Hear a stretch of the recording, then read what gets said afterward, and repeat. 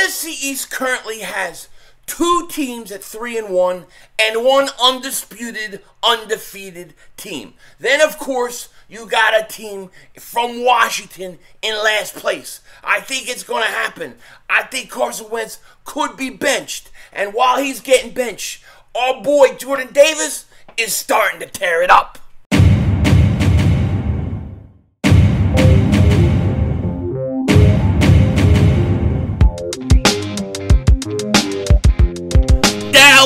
Still stinks.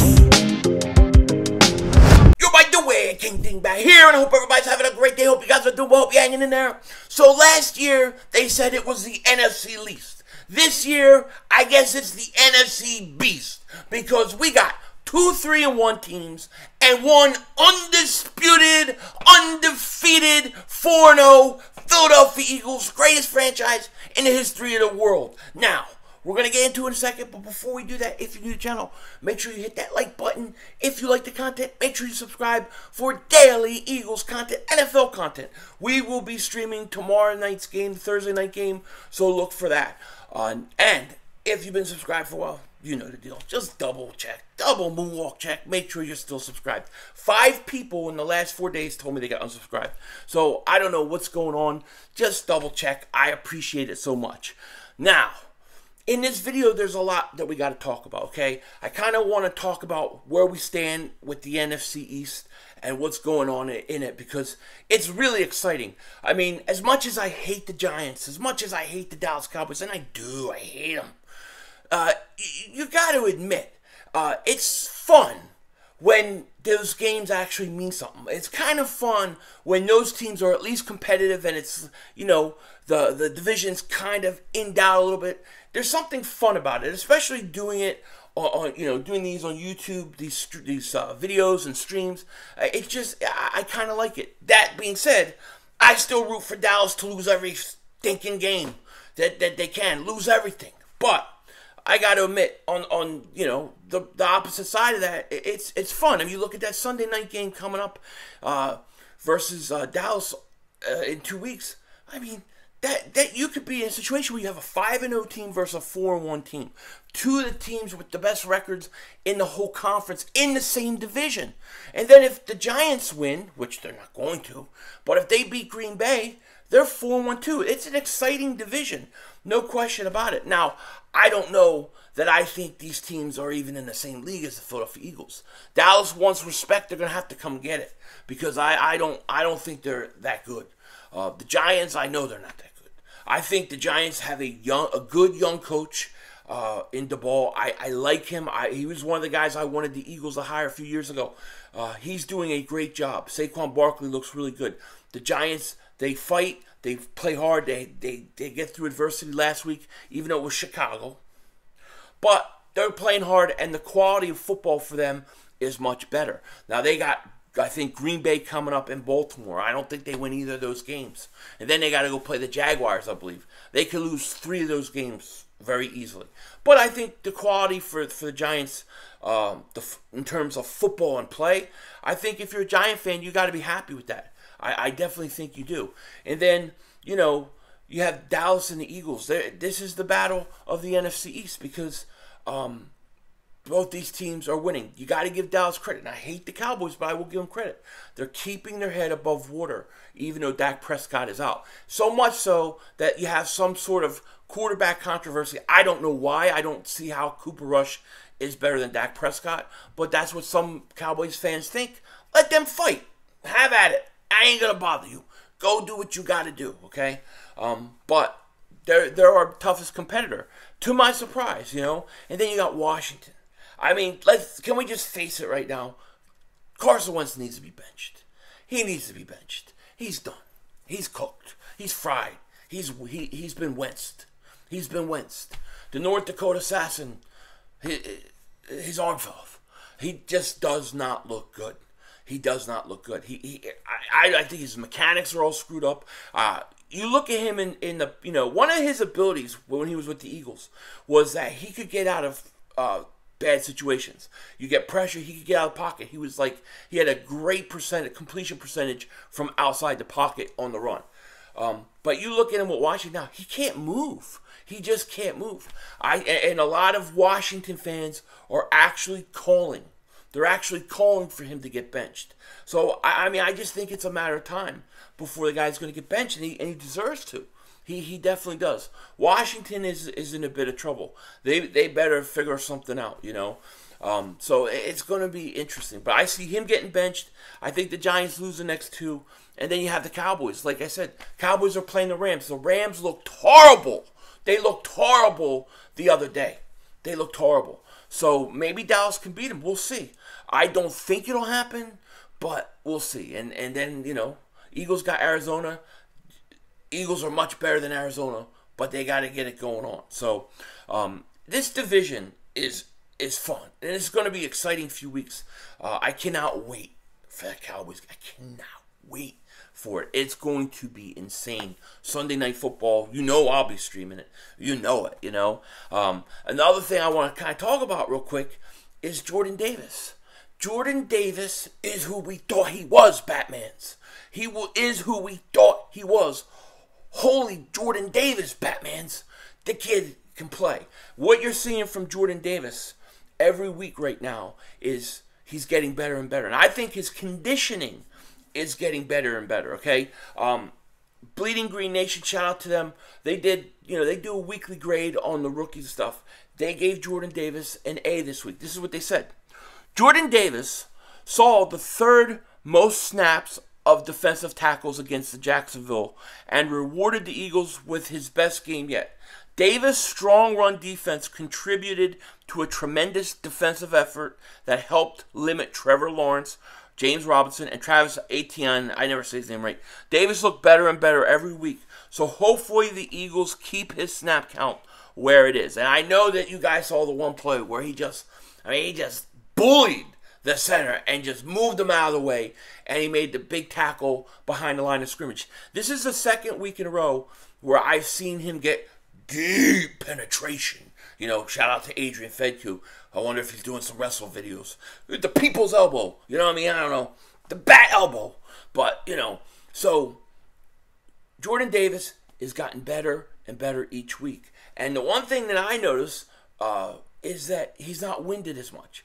Uh, like I said before, the first few weeks was like, you know, keep stay away from him. He needs to suck in all the oxygen in the world because now he's like boom boom and he's fine. So his conditioning is getting better. He's getting used to it. He's yeah, definitely got to work on his pass rushing skills.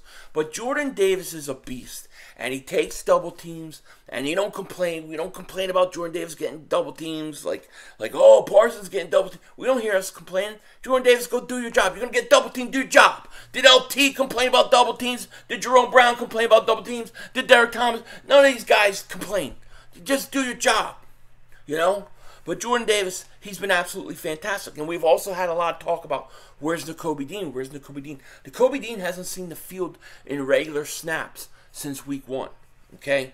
So here's what they said about, Bleeding Green Nation said about uh, Davis. He said, uh, uh, I'm sorry, said about, um, what's his face? Uh, Nakobe Dean. They said, since week one, since week one, Nakobe Dean has not seen the field except for special teams.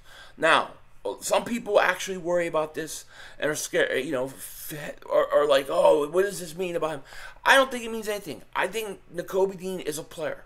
But right now, you have two guys, especially TJ Edwards, they're playing at Pro Bowl levels. So why would he sniff the field? I, I, he wouldn't right now. Right now, uh, it's going to be hard for him to get any snaps because you got you got guys who are playing. You got good linebackers. This is the best receiving or best linebacking corps I've seen the Eagles have since Seth Joyner, Byron Evans, Jessie Small with William Thomas was the rookie. I don't know if you guys remember that Willie T, but um, this is a great linebacking corps. Nakobe Dean, he's going to get his. I think I, I, hope I didn't say call him Jordan Davis earlier. I, I, I'm just in love with Jordan Davis. What can I say? But Nakobe Dean, um, he'll get his opportunities. He'll be fine. Not all guys have to develop and come around the same time. But I just think that when you look at Nakobe Dean, there's just too much talent in front of him right now. And and it is what it is. The Eagles they better find a way to sign TJ Edwards. you better find a way, you know, uh, because he, you can't let that kid go. You brought him in as a what, undrafted free agent, and he slowly developed over the last few years, and not just being the best linebacker last year, but I think he's playing at a Pro Bowl level. T.J. Edwards a stud. He's a stud. Kyzir White, he's a stud. So the Eagles, I mean, it's it's it's you couldn't ask for more. You know what I want to see today, and I'll have a video out later on in the day on this, but. I'm really interested in that injury report. Uh, what's up with Isaac Seumalo? Where's Jordan Mailata at? What's up with Jake Elliott? You know, we need to know where we're at with these guys because uh, I think I think you know I want Jordan Mailata to play. I want some. I want these guys to play and be healthy. Uh, if Avonte Maddox, if he if his ankle can't go, I, I won't play him this week. I won't play him. If if if, if Jordan Mailata can't get his, his arm up because it hurts his shoulder, I ain't playing him. I want these guys ready for week six. We can take this team without those guys. But week six, I mean, week six has to be the beating of a lifetime for now. It has to be the beating of a life. I don't care if it's 48 nothing. Play action bomb. I don't care if it's 72 nothing. Fourth quarter, 36 seconds left. Jalen Hurts comes out. Uh, dude, pull my pull the Randall Cunningham. Randall Cunningham, for you kids that don't know, maybe you're young. Randall Cunningham and the Eagles were playing the Cowboys. Now, this was like right after the strike ended. There was a strike. And so what happened was Cunningham, you know, the Eagles are winning and they're going to kneel, kneel the ball, run the clock out. That's what everybody's thinking. But a few weeks before the strike ended when the Eagles played the Cowboys, the Cowboys had most of their players back. The Eagles didn't. And and they, they, you know Landry was like, well, we're not going to embarrass the, those guys, and we're, we're not looking embarrassed. We're going to win, you know, because everybody knew that with the the, the strike going on and the players that were filling in for the NFL players that there was no way that the Eagles with a bunch of scat players were going to beat the Dallas Cowboys who were, you know, were, the, were, were a good team back then, a really good team.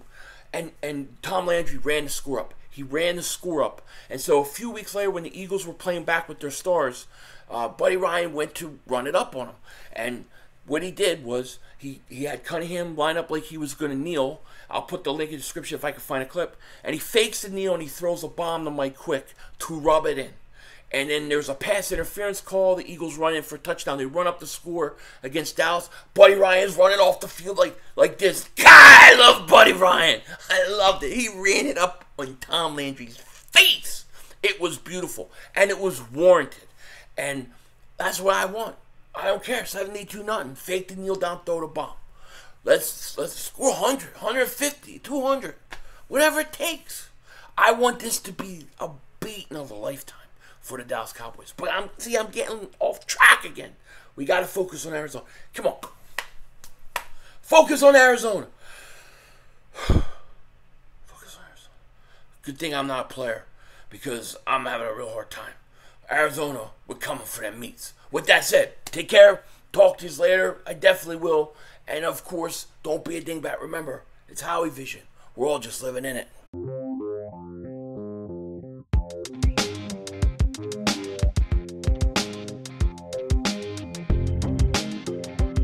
Man, Carson is really, really going downhill. I mean, he started the season, what? He was leading after like week two, he was leading the league in touchdown pass. He had seven, right? I think he had seven touchdowns and like two interceptions, right? Uh, get this after four weeks, Carson Wentz has only eight touchdowns, meaning he's only thrown one touchdown pass. He has five interceptions now. He has a quarterback rating of 35.7, and he's thrown for just over a thousand yards. I mean, it, it not looking good for him. And of course, you know, every press conference is, well, I'm not, it, it wasn't good enough. I'm not good enough today. Well, you know, I have to, it wasn't. It's the same thing all time. I, I it's a shame, you know. I, I it's really a shame. I I like Carson. I I wish him well. I, I hope he goes to another team that's not in a division. Um, but man, he don't look good right now. And listen, Washington doesn't help him at all. There's no question about it. They're not helping him at all with that offensive line. But man, I I, I think uh, I think this could be his last hurrah. And I, I think he gets, he's going to get benched in another couple weeks if if he doesn't uh, if he doesn't fix things. Just my thoughts. Denzel Washington out.